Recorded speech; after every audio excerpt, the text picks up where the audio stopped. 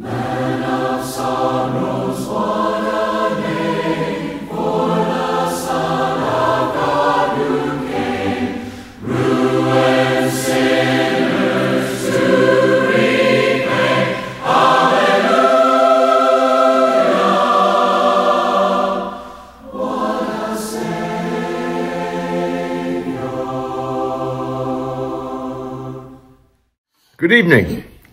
Welcome to the PM services of the Northfield Church of Christ for Sunday, January the 15th. My name is Mark Syme. I'm the minister here at the Northfield Church, and I hope that uh, you will uh, be involved in our service this evening as we sing some songs.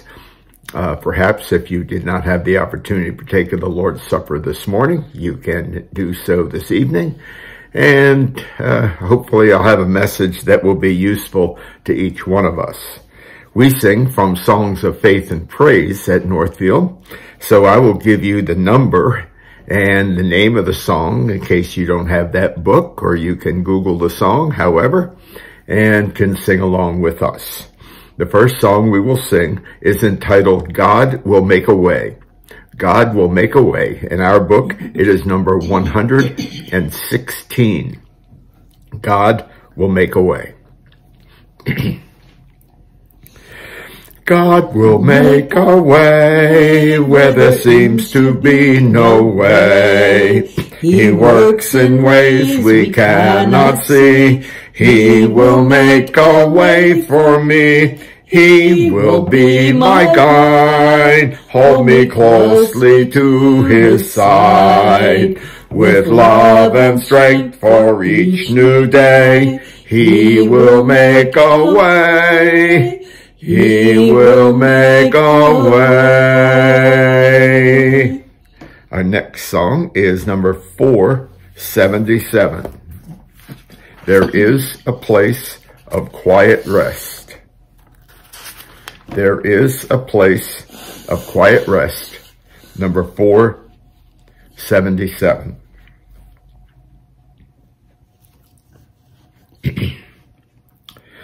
There is a place of quiet rest near to the heart of God a place where sin cannot molest.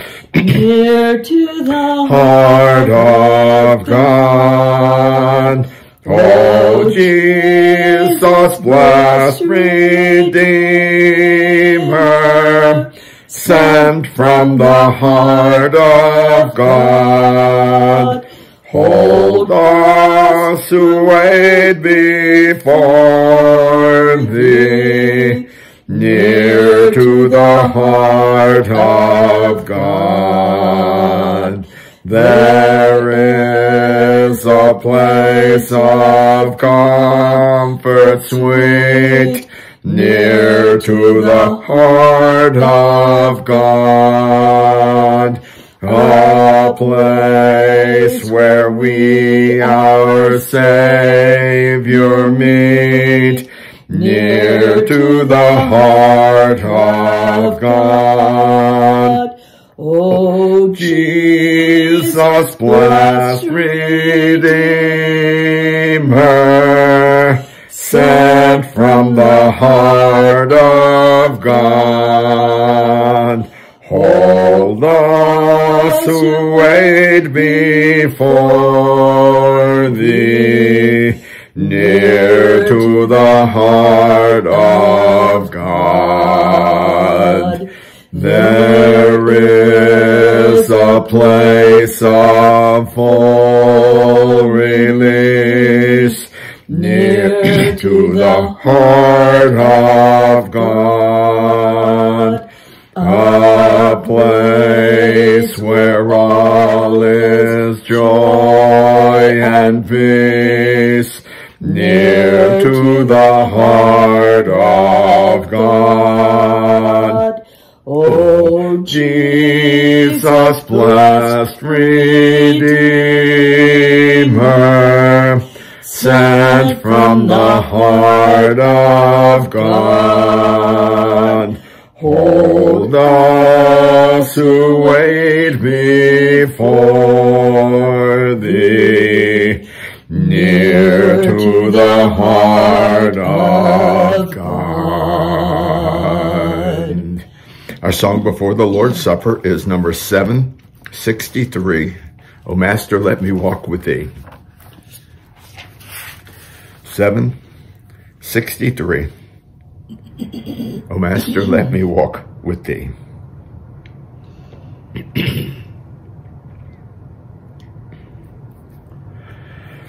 O Master, let me walk with thee in lonely paths of service free. Teach me thy secret, help me bear the strain of toil, the breath of care.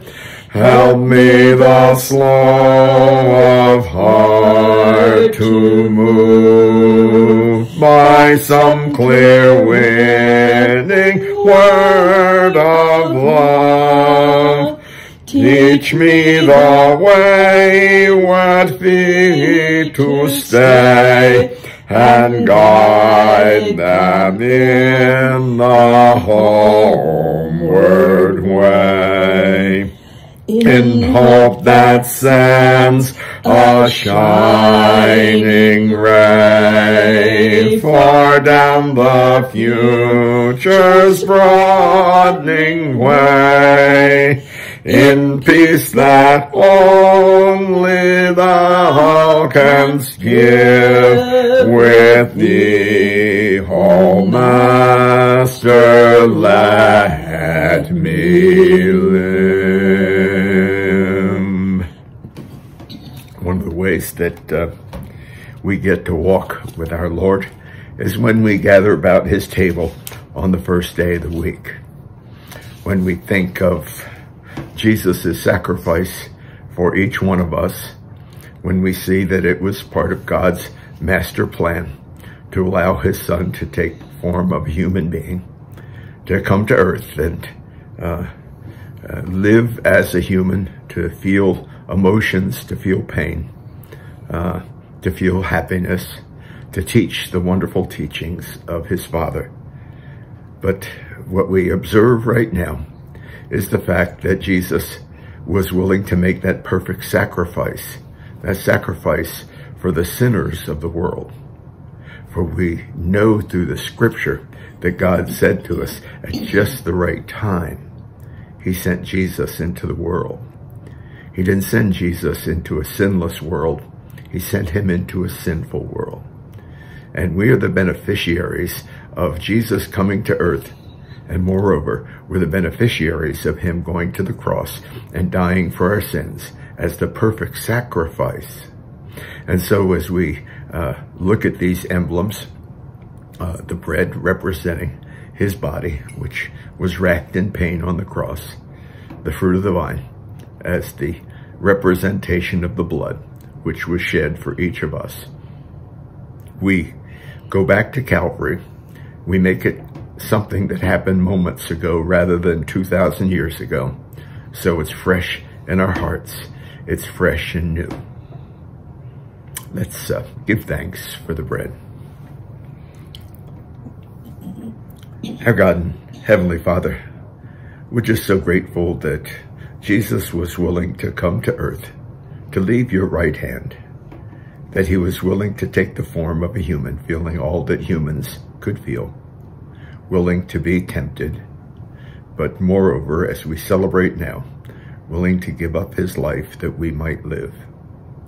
As we partake of this bread, we think of his body, which must have been in terrible, terrible pain as he was nailed upon that cross. Mm-hmm. Help us take this bread and realize the pain that this bread represents. We pray this in his most holy name. Amen.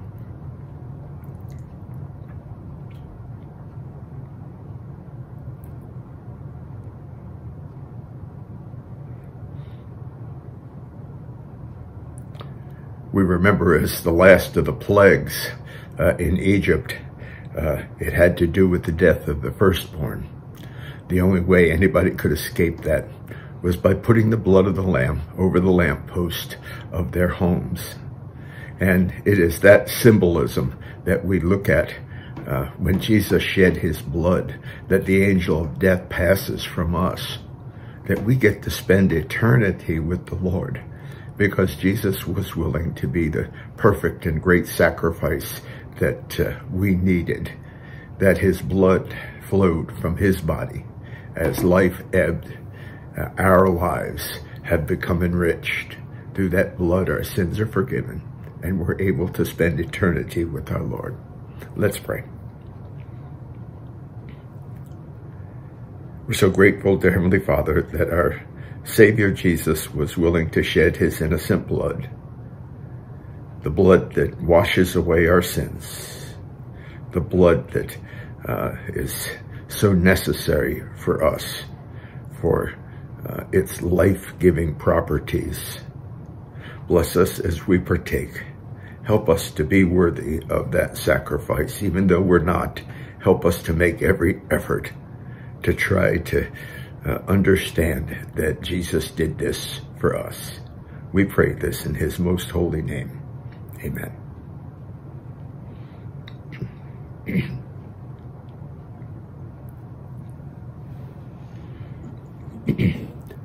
As we have completed the Lord's Supper, we use this time to think of what we give back to the Lord in the form of our contribution. We're told to lay by and store. We're told to give as we have prospered. And I just pray that uh, we will all understand that all great and good things come from the Lord. And as we give, we'll give not only with an open heart, but an open pocketbook, that we will give with gratitude, that we will give with love, knowing that uh, God is the possessor of all things. Let's pray for our giving. Help us, dear Heavenly Father, to be as the Macedonians were, that uh, before they gave of their monetary uh, needs or their monetary uh, contribution, that they gave themselves first. Help us to remember that as we give ourselves in service to you, and then we give ourselves monetarily, so that the Great Commission of Matthew 28 and Mark 16 can be accomplished that we can go out into all the world and preach the good news. Help us and help those that use these monies to do so wisely, that your word may be spread and that those in need may be helped. We pray this in his most holy name. Amen. The last song we'll sing is one I'm sure all of you know. It is number 31. It is entitled, Be Still and Know. Be still and know. It comes from the 46th Psalm that says, Be still and know that I am God.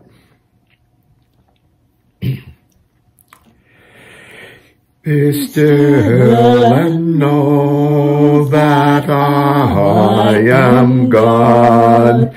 Be still and know that I am God. Be still and know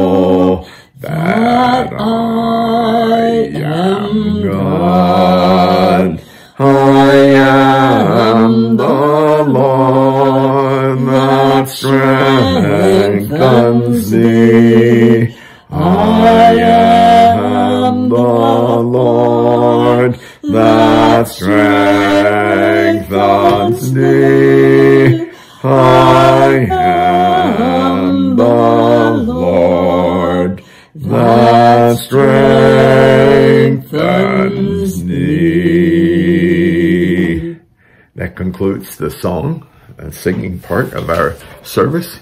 I hope that you were able to uh, participate with us and that you were uplifted as much as I was through singing. As uh, most of you know, I do love to sing. And uh, Uh, it may not be reflected in the quality of my voice, but uh, hopefully it is reflected in uh, my zeal for praising God. This evening, uh, I would like to talk about comfort. Uh, we uh, sang songs that were in that general vein this evening. Be still and know that I am God. Um, God will make a way. Uh, these songs were designed to put us into a comforting uh, setting. We all know what it means to be in a comfort zone. I'm not going to talk about that this evening. I'm going to talk about the comfort that we are supposed to give to each other. Uh, most of us are really glad when the political seasons are over because uh, the experts have told us that the best way to win an election is to speak negatively. Uh, you speak negatively about your opponent. You tell everybody what's wrong with your opponent. And very often that outweighs the things that are positive about yourself. Negative, negative, negative. Uh, the news shows on TV, I think they're told that negative sells and that people want to hear what's wrong. uh, we're, I guess sometimes our, our hearts are warmed by human interest stories. And if a news person tells one of those, they're certain to preface it by saying, here's something that you would really like to hear. And you know what? Negative, negative, negative, unfortunately, is how some of us may come across to others. You know what? If we look hard enough, we can find something wrong with almost everything in the world. It's, uh, I think, the difference between the cup half full and the cup half empty attitude if we constantly look at the cup and we see that it's half empty, we're on the negative side of life rather than the positive side. Do, do you ever think, and by the way, we're supposed to think, uh, did you ever think about how draining or even how psychologically upsetting it can be to others when we find fault in them and we complain about so many things. Now, we are uh, charged to lift our brothers and sisters up. When a brother uh, sins, we are supposed to, as Galatians 6 1 says, those of us who are spiritual, we're supposed to go to that person in gentleness and let them know. Remember, the key here is in gentleness. That's where comfort is found. The apostle Paul to Timothy in 2 Timothy 3, uh, 15 and 16 talked about the, the words of God and they are for reproof, rebuke, and correction. These are all things that we look at and we see what's wrong with people's lives so that we can correct them. So understand, I'm not saying that we live in a Pollyanna world in which everything is rainbows and, you know, and unicorns and, and brightly colored confetti. However, when it comes to trying to establish relationships with people, we need to establish them in a positive way if we are to comfort them. I've already mentioned, you know, we're barraged for those of us who get our news from TV or even for those of us who get our news from online about stories of deaths, of riots, of debates, of natural disasters. However, where do we fit in? in this scheme? Are we like the newscasters? Do we approach one another with doom and gloom? You know, how do we feel when we approach members of our family or members of our church family who are grim and sour on life? I would contend that it, it compounds the stress others endure. Because let's face it, we live in a fallen world. There are more people out there that don't believe than that do believe. We are told not to be a part of this world. We're told to be citizens of the kingdom of God, not citizens of the kingdom of this world. Yet we have to live in this world. Jesus exemplified that. Jesus even made it a point to go to the sinners. Why? Because they're the ones that needed lifting up. And he did that to comfort those people. We have example after example of people that Jesus is, Jesus was able to comfort. Now with that in mind, let's, let's do a 180 here. Negative, negative, negative. Let's balance it off with positive, positive, positive. Positive talk can be uplifting and extremely comforting.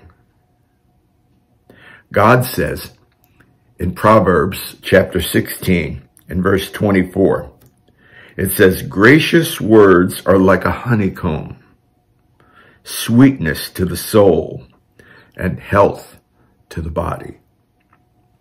Those of us that, those of you that know me know that I'm a honey freak.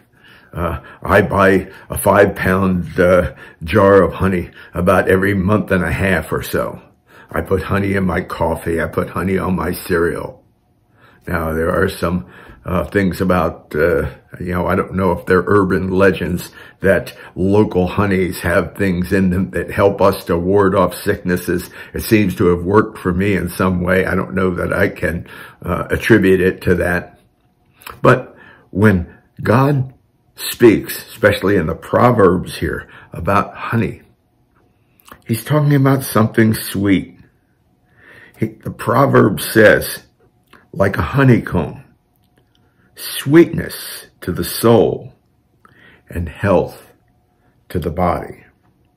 When we speak with one another with a gentle spirit, it lifts people up.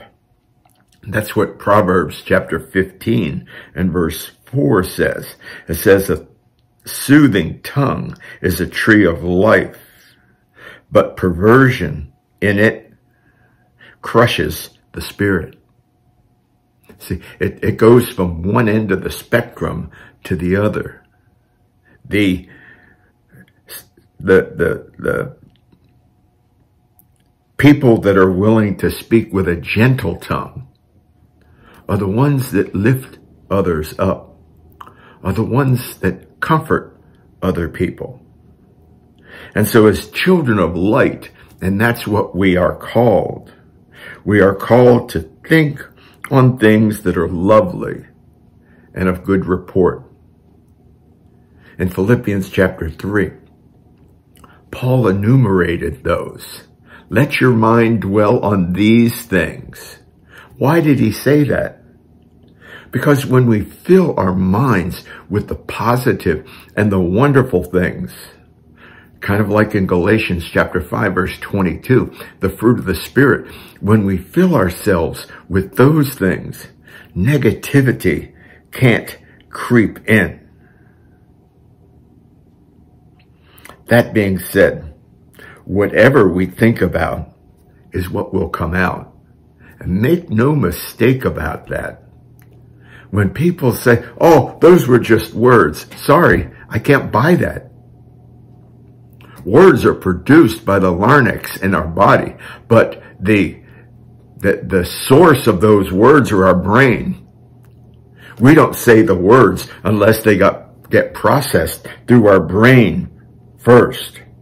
And so when we say things that are non-comforting to people, they are displayed in those words. They let people know, and people are not fools, that those are the things that are coming from our heart. And those are displayed in our speech. We, we almost tell people that's our psychological posture.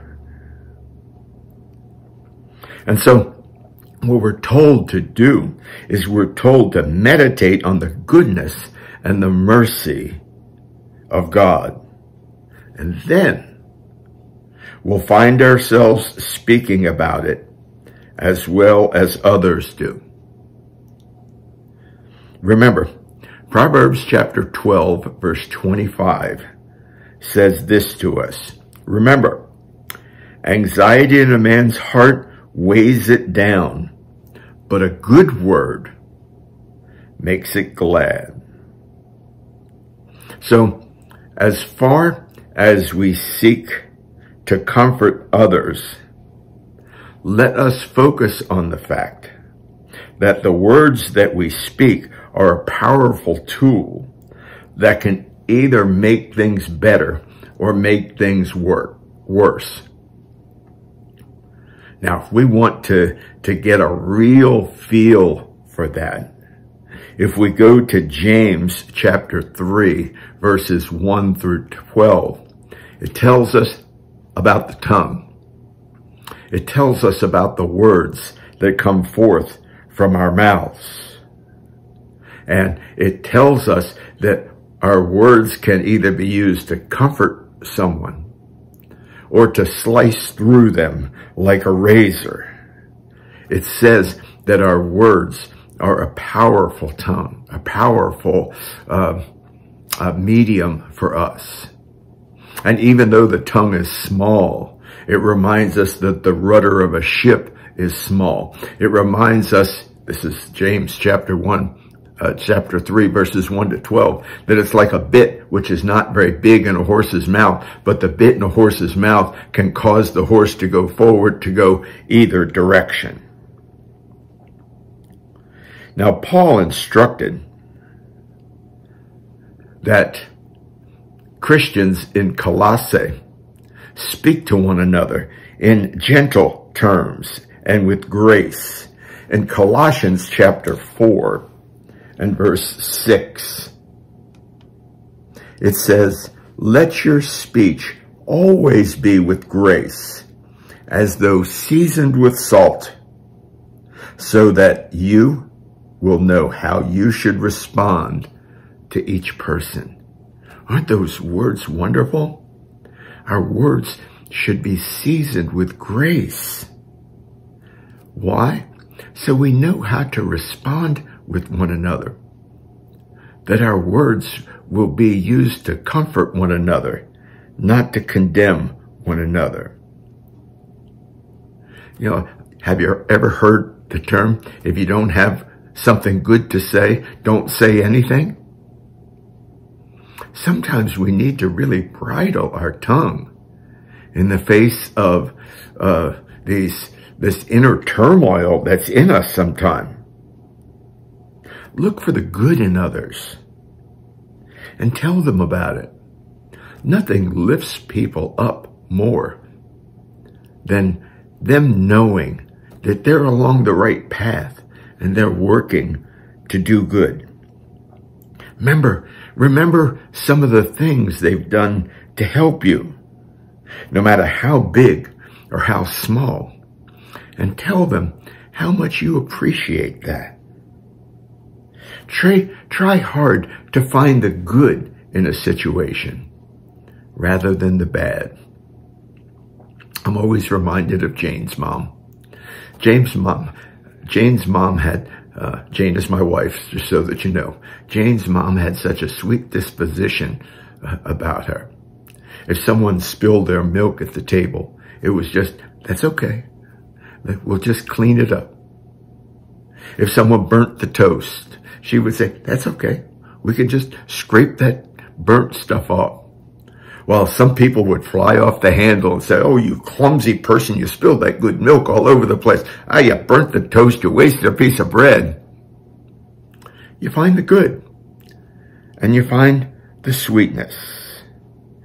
Try hard to find the good things in the situations of life and be, be sure to extenuate that in your speech. Be sure to show that in the words that you speak. Positive talk can be like yeast in bread. Bread will not rise without yeast in it. It doesn't have those wonderful properties that bread has, the, the airiness in it as the yeast works to make these carbon dioxide bubbles as it ferments in the bread. Positive talk can be like this yeast in the lives of others. It can permeate a family. It can permeate a church. It can permeate all those that we come in contact with. And so as the lesson ends this evening, today, why don't we make it a point that I will comfort my family, my church family, and my friends by finding things to say that are positive and then saying those things to them. Why? Because we comfort one another through positive thought. I hope this message reached home with you. You know, we also, at the end of all of our uh, messages, we also give people the opportunity to respond to the gospel call. If you are not a child of God, we open the invitation to you. If you have read, studied, been taught, and understand that you need to confess Jesus as the Son of God and repent of your former life, be baptized for remission of your sins, we open that invitation to you this evening. If you need to come to the Lord, let us know. We are a phone call away. Let's pray together. Our God and Heavenly Father, I pray that we will use this lesson uh, this evening in a, in a very, very positive way. That we will comfort one another through one of the ways that we're able to do that, and that is through our speech. Help us, dear Heavenly Father, to say the things uh, that are reflected in our brain and in our heart. Help us to lift one another up rather than tear one another down. Bless us, dear Heavenly Father, as we uh, pursue your kingdom here on earth. Help us to be good members of your body. Help us to use our time to serve one another. And in serving one another, we also comfort one another, not with words, but with deeds. Be with us uh, through this evening, dear Heavenly Father. Help us when we put our heads on our pillows tonight, that we'll be thinking of you, that we will be thinking of your words that uh, comfort us in our lives. Continue to bless us. Continue to be with us. We pray this in Jesus' most holy name. Amen. Please be safe. May God bless you all. Man of sorrows,